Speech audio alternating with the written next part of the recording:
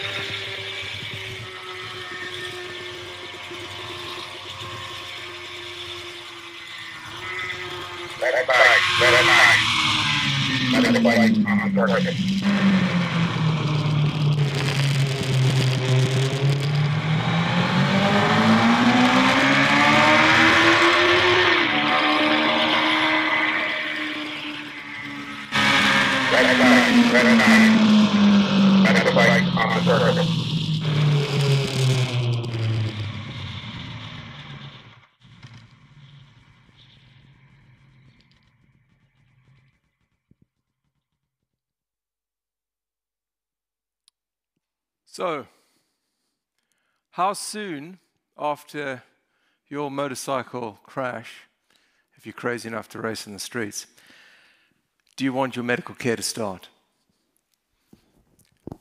Who should start that medical care? What sort of medical care should you receive and when? And who owns that medical care? Which ologist, which specialist should be providing that sort of medical care? I'm Jason van der Velde. I'm a pre hospital emergency medicine critical care retrieval physician, and I'm based in West Cork in Ireland. And um, my passion is providing good quality care where the patient needs it. I grew up in South Africa, hence the accent. And um, this was me at school. I was never really made to feel like the tribe. You'll notice I have no words in my slides because I still don't read very well. And I was never part of the tribe. I suppose uh, words like dyslexia didn't exist back then. Words like neurodivergent didn't exist back then. And so I left school quite early and I joined the ambulance service. And um, it really, truly was the wiki wild west of uh, care delivery. We would literally fill up those ambulances with as many patients as we could possibly find and just, you know, hope that they would make hospital alive. And I was always driven to do more because I knew I, I, I could do more for these patients.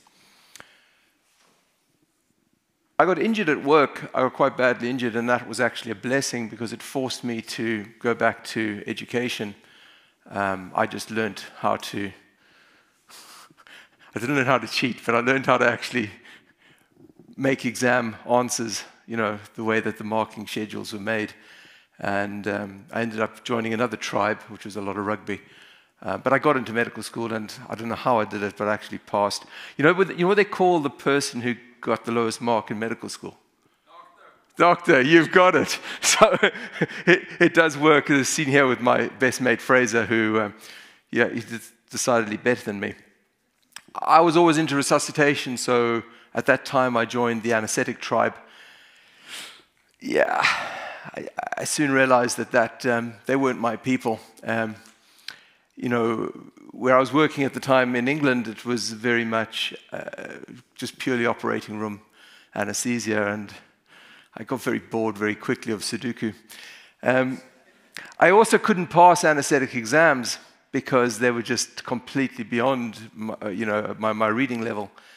And so I joined and uh, started with Dr. Mark Forrest, the um, anesthesia trip, trauma and critical care course, which after 25 years is the probably the cutting edge um, trauma care course, you know, worldwide. What we did is effectively we took medical education and broke it down into understandable simulation. And we don't teach by words, we don't teach by books, we teach by doing. And I suppose that was the, the difference. Lots of very passionate people. Um, we even went as far as to join the Royal College of Surgeons. yeah, that's another, another story. Um, but actually to produce a fellowship. And so my fellowship is actually with the Royal College of Surgeons, although I'm not a surgeon. Um, I went and moved to Ireland. That was a long story, but um, the critical care side of anesthetics was available there, and I really enjoyed doing the patient transfer stuff. But things weren't quite right. Um, I was really badly bullied by a very senior member of the anesthetic community in Cork, and it was largely over largely over private stuff, but also because I couldn't finish my exams, so they were getting more and more frustrated with me. And um, that bullying was relentless. It was the sort of person who taught by humiliation. Do you know the type? I, I just couldn't tolerate it, really. Um, I couldn't tolerate being talked down to just because I couldn't, you know, digest 75 pages of a manual. And I said goodbye to anesthetics and I joined another tribe you lot. Who are? You know.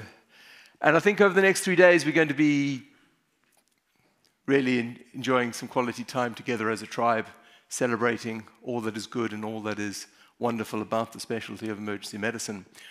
We're going to be looking at, for example, and trying to examine what defines us as emergency medicine physicians. We're going to be looking at procedures the governance and the background to these procedures and how they should be carried out. Procedures like suprapubic catheters, for example, chest drains, thoracotomies, even. Who should own these procedures? Should it be us? What happens when we do such procedures? You see, I'm 20 years on, and so is Fraser and he's the clinical director now in Glasgow of emergency medicine. And I haven't done too badly for myself as somebody who uh, was told they were absolutely worthless at school. Um, I'm now the national clinical lead for emergency telemedicine in Ireland, and um, for my sins, and I, I do say for my sins, I sit on the regulator. And the regulator is the Pre-Hospital Emergency Care Council. It's the paramedicine regulator in Ireland, and we'll talk about this a little bit later on this morning about pre-hospital care in Ireland. Um, but as somebody who sits on the regulator, I get to see where medicine goes wrong. And I get to see where people come before fitness to practice, for example, and where, where, where, where clinicians are in trouble. And we get to support them through that process, or else decide that we need to take their careers away from them. And that's quite humbling. And actually, as part of that process, I've got to learn just how pervasive and how damaging incivility or rudeness is to patients and to practitioners. John Hinds opened that presentation with a video from SMACC, and um, John gave a very good, uh, he gave a very good kind of presentation about how he did a thoracotomy on that patient that you saw there at the end of that video. And John would follow the motorbikes around the track, as you saw. He would go around on the first lap at very high speeds so that he could provide good quality resuscitative care where the patient needed it at the point of injury. That rider fulfilled all of the Resuscitation Council guidelines for a resuscitative thoracotomy. And he got one. And he got one from an extremely competent, well drilled team. But John's lecture wasn't about the halo or the high acuity, low opportunity procedure. John's lecture was about the crucifixion, or to put it another way, the very extreme, very public criticism of his medical practice from in hospital ologists that followed. Tribal incivility comes in many shapes and forms. I, I love scrubs, by the way.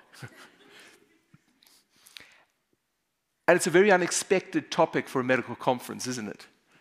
And but it's the topic that you should be extremely cognitive of and aware of. And particularly given the transformation that I, I understand from my chats last night that, that Sweden is, is undergoing in, in emergency medicine. And John experienced and reflected on three types of personality traits that he encountered whenever he did a halo procedure. And the first one of those traits was the sycophants. So, psychophant is a difficult word for me. Um, I definitely can't spell it. Um, but uh, you can laugh at that. Um, it basically is hero worshippers, okay? And you will encounter these if you do one of those procedures because you know, these are guys who think you're really cool for cracking the chest or for doing that lateral canthotomy and cantholysis. And, uh, you know, especially in emergency medicine, th- those people who wanted to be John, those people who wanted to crack the chest at the side of the road and be that first one to do that awesome procedure in the new department with a new kit. And John made a compelling argument that whilst those people make you feel good, they are probably one of the most dangerous attitudes in healthcare. Because they will just do the procedure for their logbook because it makes them look cool, because they just want to do it, not necessarily because the patient needs it. And so a lot of assumptions start happening when a resuscitative thoracotomy gets done down in the ED from the ologists in the ivory tower. And so we have to be very careful of the image that we, we put out. Then there are the skeptics. And skeptics are your allies. They are your friends. They are the awkward ones who have awkward conversations with you, but they do so through wonderment, through wondering whether this is appropriate, Yes, they're frustrating. They're the late adapters. We're all early adapters in emergency medicine by virtue of what we do. But they can be brought around to your decision making provided your evidence for what you do is appropriate. And that's very important. They are your greatest allies. Yes, they're painful, but they're your greatest allies. And then they're the hashtag resuswankers. I'm sure that word translates relatively easily. Those who openly and viciously attack practice, they demanded that John be suspended and investigated and some sort of justice be, be, be sought. You know, John argued that the hardest part of doing a resuscitative thoracotomy wasn't the actual halo procedure itself, making that first incision.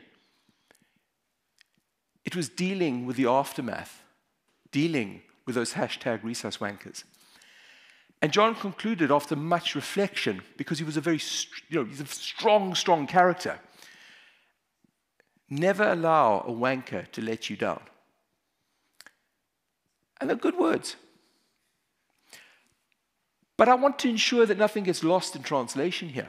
And that's very important because the evidence is that most of you have experienced a hashtag resus wanker at work.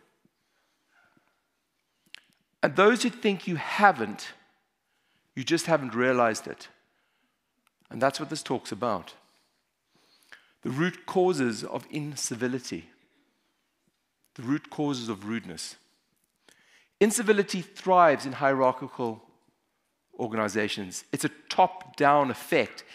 It's been around since the time of Hippocrates. It has become culturally normal in medicine, in healthcare. High levels of pressure and stress contribute to a sense of seniority.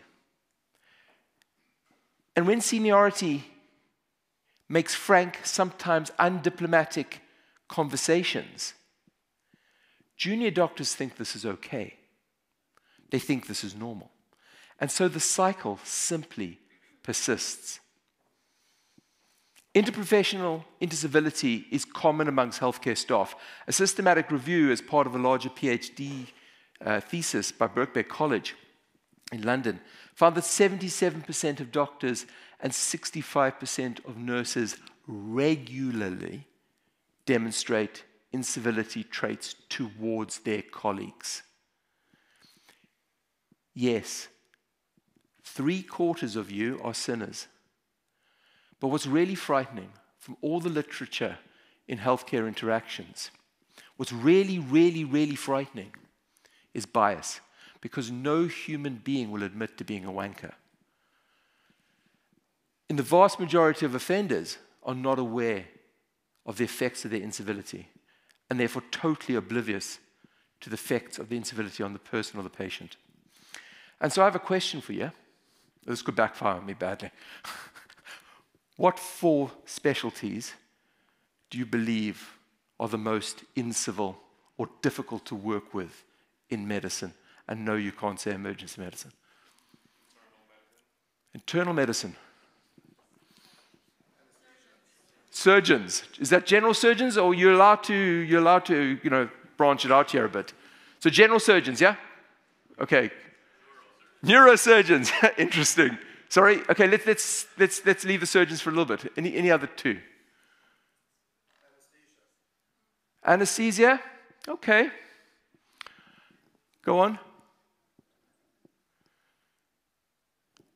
So Birkbeck said radiology. Does that surprise you? I actually understand that, that radiology in Sweden is pretty good. Yeah, we have, a, we have problems. General surgeons, you got it right. Neurosurgeons, obviously. Cardiology. Oh my goodness, I'm seeing a lot of nods. Okay, so incivility is ingrained in medical culture. We are aware that we do it.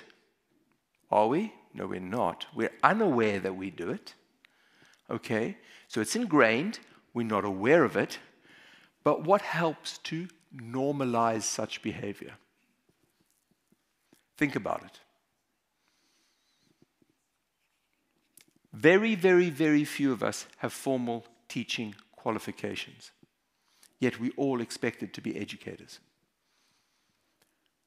In medical school, traditionally, since the time of Hippocrates, we learned through humiliation. We learned to make sure we stood at the end of the row so that somebody else got the answer to the questions first, yeah? All the way down the row, and my knowledge is better than yours. Go and learn it, go and learn it, go and learn it. We learn through humiliation. So what happens? We teach through humiliation because it's the only way we've learned how to teach.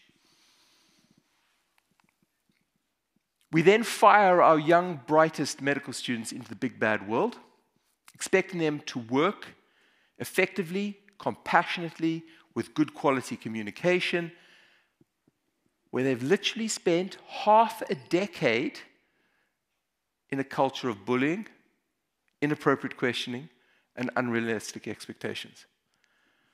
We have to change the way we do medical school.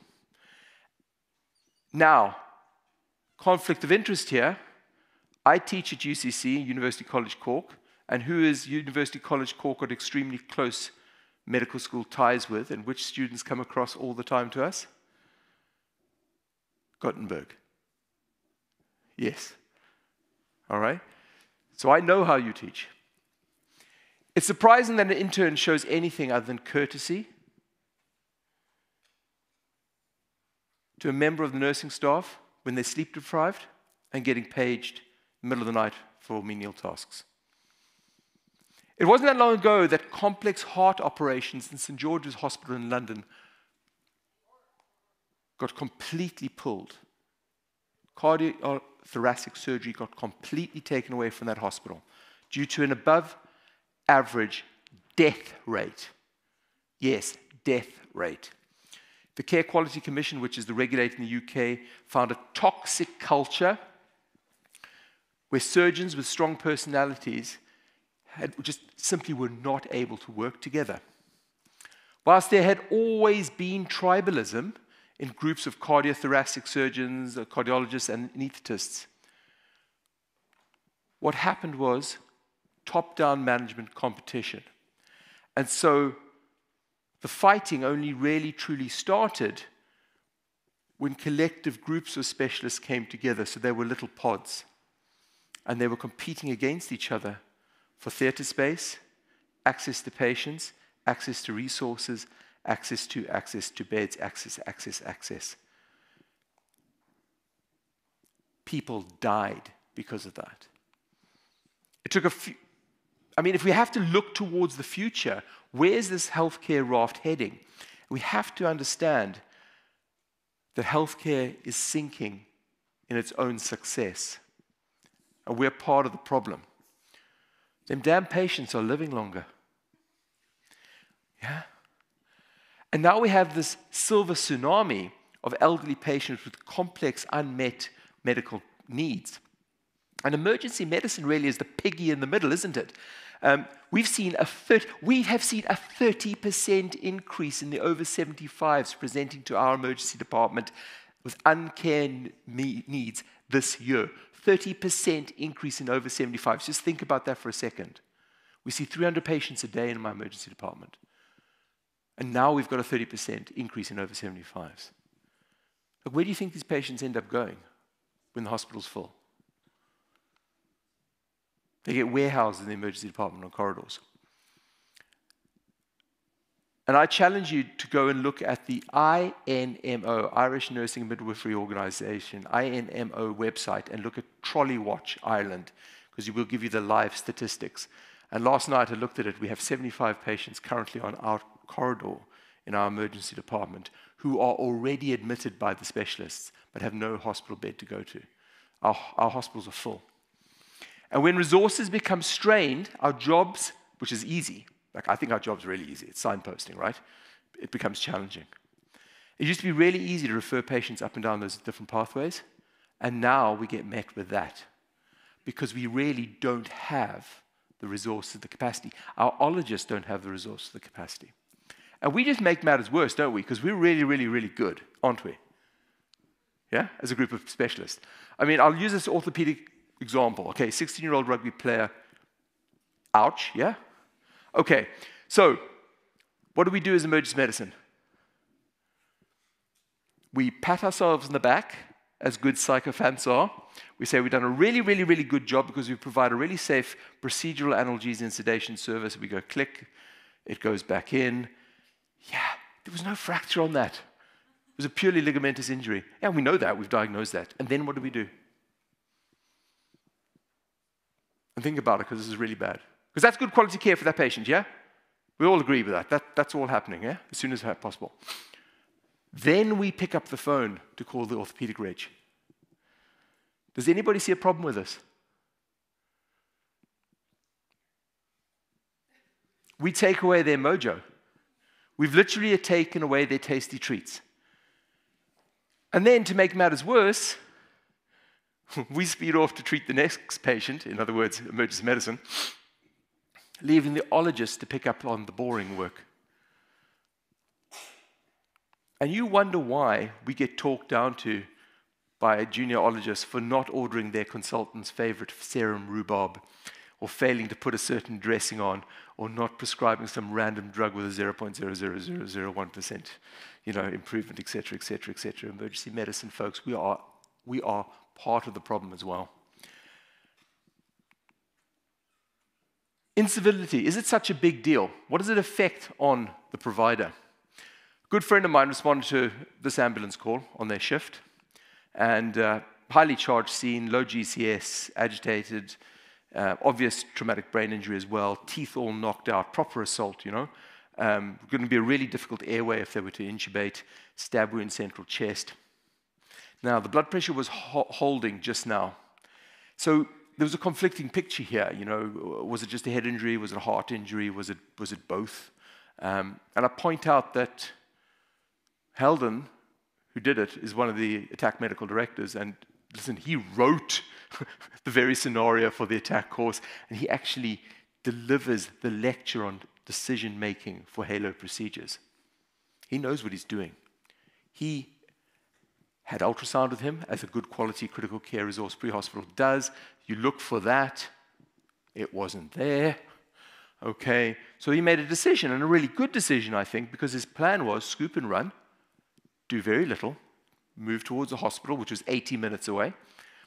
And um, they were going to intubate and do a thoracotomy only if the patient arrested, which I think is fair. Yeah? So move. Loading the patient onto the ambulance stretcher, they arrest, obviously. And so performed resuscitative thoracotomy. And yeah, T, tamponade, found the problem, big RV wound. Difficult to close, but they did. Kept the blood products going because they carry them. Well functioning system, able to call up for a police resource to bring blood products to them. So en route, they got more blood products. And this patient started to do really well. This patient survived. Not only did they get ROSC, but they required more and more anesthetic to keep them asleep. They were showing signs of neurological recovery. This was great stuff. This team was on cloud nine. This team arrived into an emergency department which was pre alerted, despite being the middle of the night, full of, of resuscitologists. You know, they, they, they, everything was going well. They were slick. They were on top of their game. This was the best thing ever since sliced bread. This person was alive. Bang. Spotlight on them. In front of them, in front of everybody, a senior emergency medicine consultant tore the team apart. They didn't even listen to the handover, just started questioning. Why did you do this? Why did you do that? Why would you do this? And my old favorite, in my clinical practice, I would not have. I would not have done that. That is just totally inappropriate. Ba, ba, ba, ba, ba, ba, ba, ba, ba. Can you see this happening? It was like a final membership exam. Even worse, done in such a way that the team who thus far outperformed what you would expect against all the odds, you know, they thought they were failures. Have they done something wrong? Have you ever experienced somebody talking to you when literally you cannot get a word in edgeways? You cannot even put a word in because to do so might even seem impolite. And every other word is I. Me, me, me, I. Classic narcissism.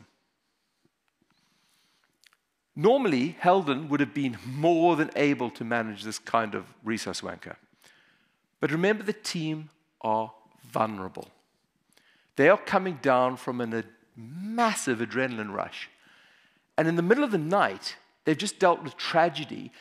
They've dealt with what they've been trained for all their lives. They've done their absolute best under really difficult circumstances. And they were taken down at that point of the adrenaline rush. And the adrenaline rush, folks, adrenaline dump is a very real phenomenon. Successful predators, and I mean human beings here, sense and manipulate post adrenaline rush vulnerability to their own gain. There are colleagues who have absolutely perfected this art of bullying. It's the same as a feigned retreat. You know, feigned retreat in military, um, in, in military tactics. The opposition stands down, right? And, and they, they run away. And then the other team goes and, or the other side goes and looks, oh my goodness, the fighting's over. Oh, thank goodness, we've won, we've won. Adrenaline drops. And then another attack happens. And that attack happens when they're vulnerable. And it's a very well used tactic currently in warfare. And imposter syndrome is very real. Regardless how senior or junior you are, imposter syndrome, you start questioning your own practice. Doubt creeps in because these are the very jobs you train for. And you do them, and then your confidence is just wiped out from underneath you. Your performance is being knocked. And to make matters worse, that emergency department didn't even invite that pre hospital team to the debrief. They didn't even provide feedback. How would you feel? Do you think that team is likely to even want to take the patient to that department in the future? No. Do you think that pre hospital team would voluntarily choose to interact with that person, even if it meant that a patient would suffer? It's possible. A complex lack of emotional awareness or maturity, or simply put, a narcissistic spectrum disorder, has very real effects on healthcare outcomes. And I've given you a really extreme example, okay? But what are the effects, the more subtle, everyday stuff that we're not aware of? We need to maintain and, and create open and honest dialogue about the psychological and the clinical effects of everyday rudeness. Our ability to juggle things is directly affected by rudeness. Rudeness literally eats into our bandwidth, our ability to actually take things in. It disproportionately affects emergency medicine physicians. Why? Because we have a higher percentage of ADHD in our tribe. Okay? And that is something to be celebrated. It's what makes us so damn good at what we are. And if something doesn't make sense, what does the ADHD brain do? It gnaws away at it and tries to make sense of it. Okay? And that takes away our bandwidth. 80% of us lose time worrying about rudeness if we have ADHD. 63% of people without ADHD will actively avoid that person as well. And amazingly, you can simulate this in sim rooms. Okay? Really good experiment. Okay, so the experiment was done with an anesthetist initially. Now, in anesthetics, there's a 13% rate of autistic spectrum disorder in anesthetist, okay? In the UK. That's really well defined, all right? So, they were demonstrated rudeness in a simulated anesthetic surgical environment, okay? and it reduced their performance by 33%. Wow. They did the same thing to emergency medicine. How do you think it affected our performance? This is an RCT. This is really well done study. This is mad stuff. 61% of emergency medicine physicians in a resuscitation scenario did worse when there was rudeness in the room. Wow. Royal College of Physicians did a study and they looked at, and then this is coming back down to what I do as, as a regulator, we look at adverse incidents when healthcare has gone wrong and the poor person is sitting in front of the panel about to lose their license. 67% of adverse incidents that the Royal College of Physicians looked at, incivility or rudeness or inability to communicate effectively and courteously amongst professionals was the root cause of the problem. Wow. Obviously, work life balance gets affected too. We reduce our commitment to work, we reduce our time at work, and the most the worst thing is we seek alternative employment or at very worst leave the profession altogether. We have to do something. Like many of you, I've experienced the effects of incivility, including overt bullying I just accepted it was part of normal work in medicine and you just had to toughen up and it just was part of what you had to do. Until a resus wanker came after me, not many years ago. I was forced to tackle this problem. Massive blunt traumatic cardiac arrest, struck by a car on a high speed motorway, blunt, right? He survived the pre hospital resuscitative thoracotomy, that's him, in my resus bed in my hospital. What happened? my tribe bounced for joy because two of their own had done the improbable. Um, you know, could we possibly have a survivor from a blunt traumatic cardiac arrest? Like, what are the odds? Like, my tribe were like all over me, gushy. Like, I mean, myself and Owen were really getting it. And then came the predictable viciousness. Massive, massive anger and accusations of inappropriateness from the specialist, who then would have to take on the care of this patient for the months and possibly even years ahead. There's no point really going into the why, okay, because a resus wanker will always find why. But these accusations used words like futility, unnecessary. In my practice, I would not. So I did what John would do, and I, and I sought out the skeptics, and it was really hard to explain away the narcissist because the narcissist starts ahead of you, and you're always trying to play catch up.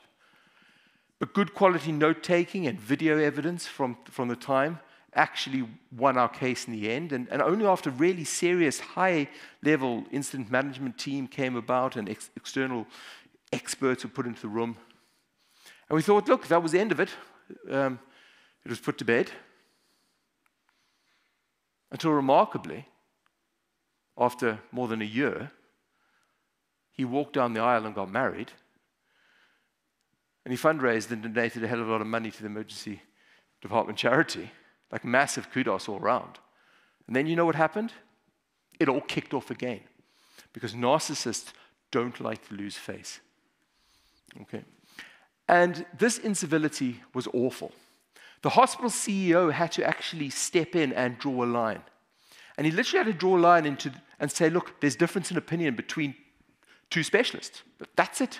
Full stop. We have to stop this because it is affecting work. If this didn't directly happen to me, I wouldn't even believe it could happen. It was so far fetched. So, what would happen if this happened to one of our junior colleagues? Definitely wouldn't have had the bandwidth or the maturity or the expertise or, or, or the years of dealing with this to cope. We have to do better dialogue. Now, this is my team, this is my tribe. This, this, this, is Cork Emergency Department. These, some of these people I've worked alongside for 16 years. I feel safe in this tribe yeah, look, there's sycophants in there who pat me on the back. There's also really, really good skeptics there who will prod me and poke me and say, Is that, was that really necessary? But in a loving way because they want to learn, they want to keep the team going. Definitely no resus wankers there. We have to manage incivility when it happens. And that involves strong leadership, that involves all of us. Whilst our baseline might be passive and, and sometimes even submissive.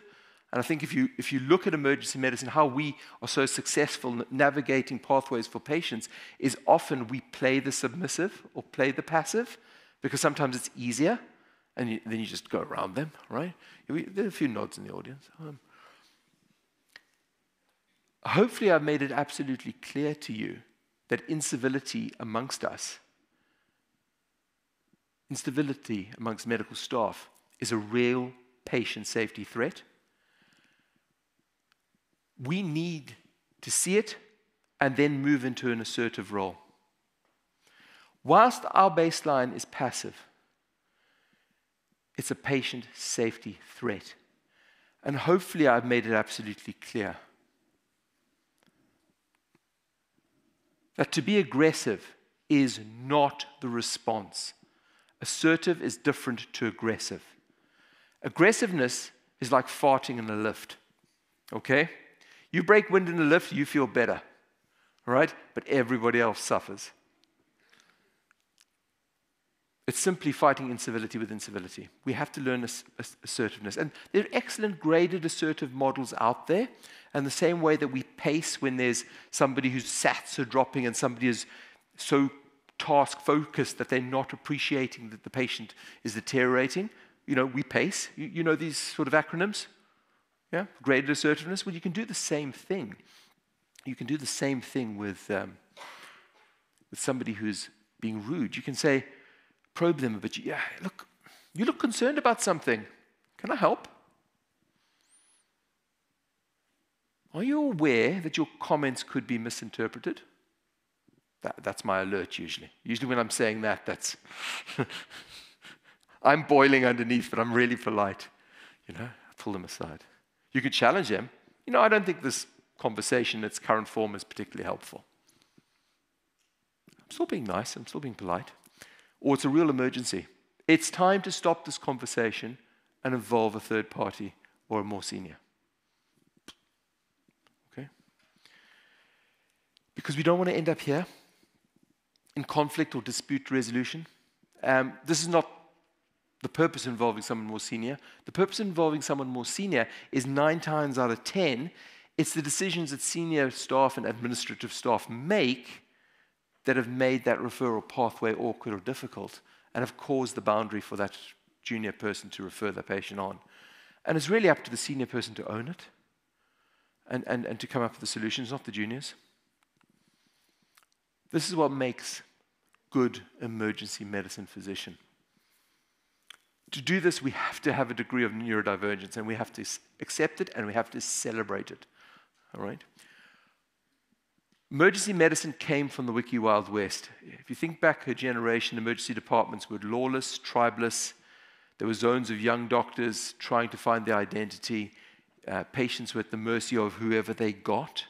And frankly, um, you know, it wasn't good. And thankfully, manners have been put on this by the likes of yourselves, by the likes of the Royal College of Emergency Medicine in the UK and Ireland.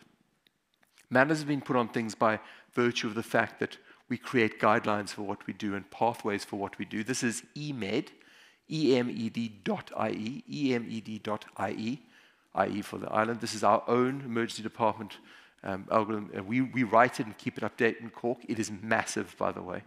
And it's very easy to read by dyslexics. Okay?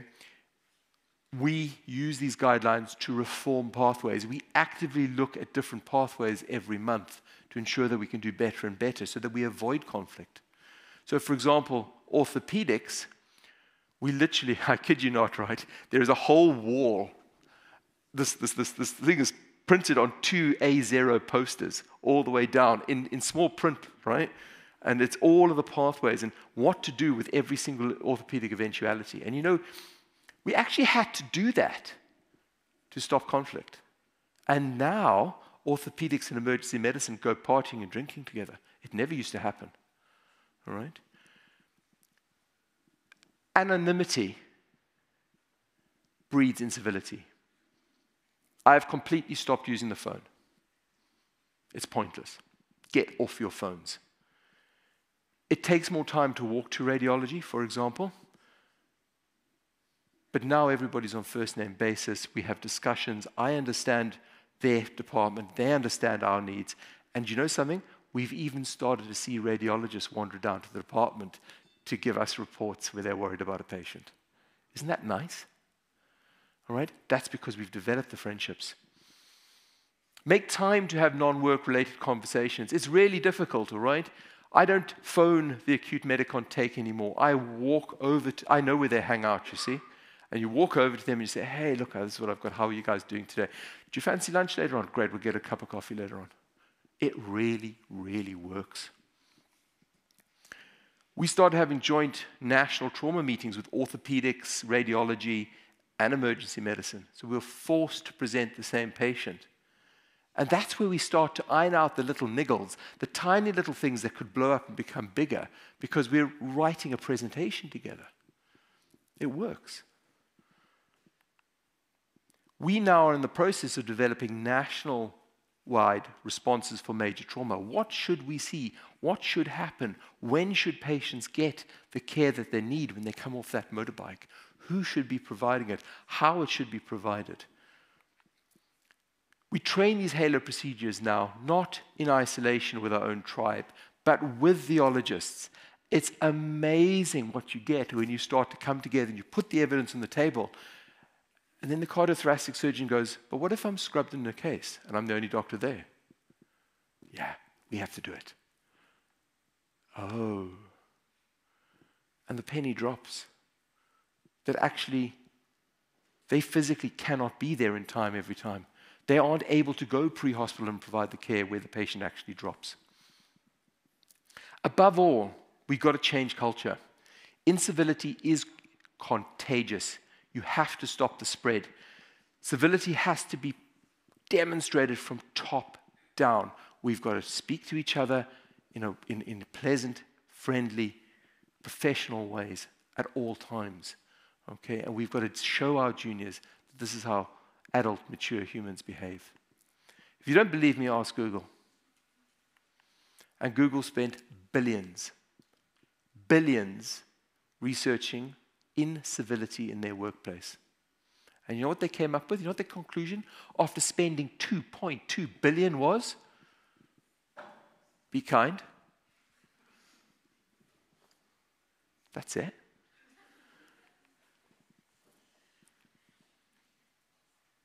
Easier said than done. It's not impossible, though, to convince bullies and thugs that they need to be kind. You have to appeal to the narcissist. Narcissistic personality disorders involve a pattern of self centered, arrogant thinking and behavior with a complete lack of empathy and consideration for other people. You cannot tell a narcissist to be kind. They do not understand, they just cannot do it. All right? So think about it. You need narcissists. You need narcissists that are suited to high performance professional contact sports, such as orthopedic surgery. Right? The New Zealand rugby team believes the core to success is redefining themselves culturally. They've woken up to the realization that incivility directly hinders performance. So they have a strict, and it's called this, by the way, they have a strict no asshole policy. It reduces rudeness and incivility. For example, they are not allowed to play pranks on each other. It just does not happen. Because when it's about I, it's not about the team. And embedded in rugby culture, right from the juniors, the little E's, this culture continues. And this is why New Zealand is one of the most successful rugby nations in the world, only secondary to South Africa and Ireland. Emergency medicine are universally accessible. Care is never refused. There's something that we all need to be proud of and promote.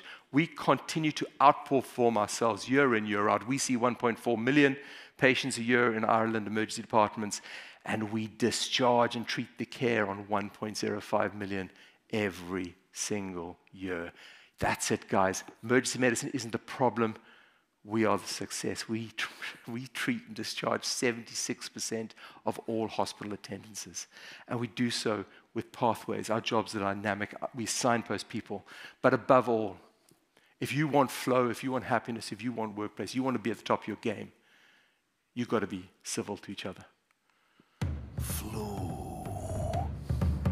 The unmistakable feeling of unstoppable of no problem that can't be solved. Of no one else can do it better. That whatever the day throws at you, you simply take it in your stride.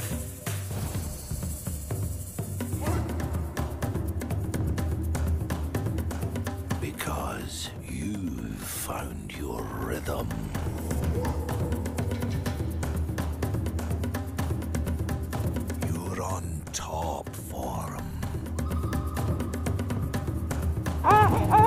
We're good, we're good, we're good. This is Ferdia, he's six weeks old. Period of um, bradycardia, CPR for about one cycle, literally just a minute, picked him up again. Be proud of who you are, but be civil all the time. Thank you.